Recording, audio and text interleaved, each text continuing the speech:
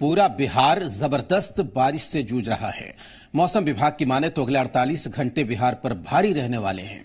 खासकर दक्षिण बिहार में ज़बरदस्त बारिश का अनुमान जताया गया है। पिछले 24 घंटे की अगर बात करें तो पटना और उसके आसपास के जिलों में खूब बारिश हुई है।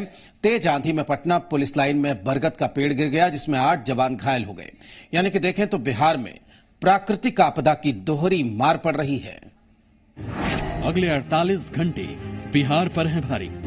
आंधी तूफ़ान के साथ बरसेगी आफत। आफत की बारिश से संभल के। प्रकृति की दोहरी मार बिहार में पड़ी। एक तरफ़ बाढ़ की दहशत है तो दूसरी तरफ़ आसमान से आफत बरस रही है। और अगले 48 घंटे बिहार पर आसमान भारी पड़ने वाला है। लाइट टू मॉडरेट रेन होंगे, लेकिन जो नॉर्थ बिहार है, वहाँ हैवी रेन की संभावना दोनों दिन बन रही है। तो और दूसरी बात है कि जो नेपाल में काफ़ी ज़्यादा रेन होने वाली है। तो नेपाल में जो रेन होगी तो इसके कारण रिवर लेवल भी राइज होगी। तो ज़रूरत है अभी नॉर्थ बिहार के सभी जिलों को अलर्ट पे रखने की। ये तो हुई आगे की चेतावनी, लेकिन पिछले 24 घंटे में क्या हुआ है, उसकी भी तस्वीर देख लीजिए। 24 घंटे में बारिश इतनी हुई कि पूरा पटना पानी पानी हो गया। पटना के जो पौष इलाके हैं, वहाँ बारिश का पानी भर गया। बारिश से जल जमाव के हालात पैदा हो गए पाटलिपुत्र श्री कृष्णपुरी कंकड़बाग राजेंद्र नगर के कई इलाकों में नाले का पानी घुस गया है। निश्चित रूप से आपने देखा कि कई जिलों में सुखाड़ की स्थिति थी। सरकार ने घोषणा भी की, राशि भी दी गई।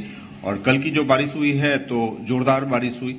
पानी लगे लेकिन मैं तो अभी तक यहाँ आया हूँ तो मुझे लगता है कि मैक्सिमम जगह जहाँ पानी निकली जहाँ जहाँ लगे हुए थे वहाँ के मैक्सिमम पानी निकल गए और मुझे लगता है दो तीन घंटे में फिर सामान्य स्थिति हो जाएगी। मुझे लगता है कि ड्रेनेज सिर्फ़ बना देंगे उसको एक दूसरे ड्रेनेज से कनेक्शन नहीं किया गया है नहीं तो इतना वाटर लॉन्गिंग चाहे डाकबंगला हो चाहे गांधी मैदान हो मौर्या होटल हो जहाँ जहाँ ड्रेनेज सिस्टम ठीक किया गया है वो कहीं से ड्रेन पानी उठा नहीं रहा है। विकास का जो मॉडल है वो मॉडल उन्हीं का मॉडल है।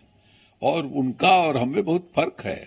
उनके यहाँ ज़मीन अफरात है। हमारे यहाँ हिंदुस्तान का देखिएगा, पर स्क्वायर किलोमीटर जो है तीन सौ, साढ़े तीन सौ तीन सौ, चार सौ के बीच में आबादी है। आप रूस में, अमेरिका में देखिएगा तो उनका भूगोल जो है हमसे कहीं ज़्यादा बड़ा है। बारिश के साथ आंधी तूफ़ान का भी कहर टूटा। पुलिस लाइन में विशाल बरगद का पेड़ गिर गया।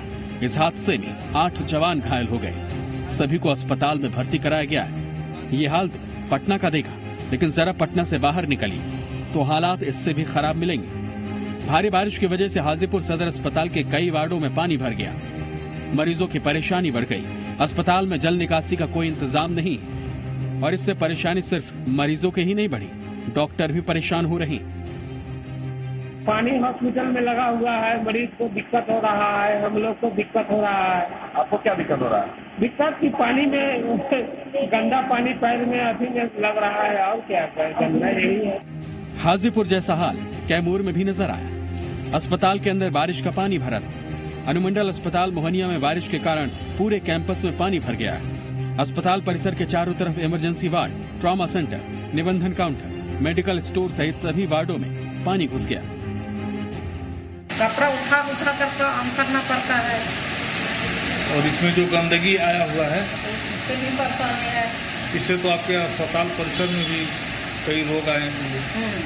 इसमें कीटाणु भरा हुआ है महक रहा है। ये हाल सिर्फ़ 24 घंटे के अंदर हुई बारिश से है। अगले दो दिनों तक आसमान से आफत बरसने की चेतावनी जारी की गई है। Bureau report Zee Media.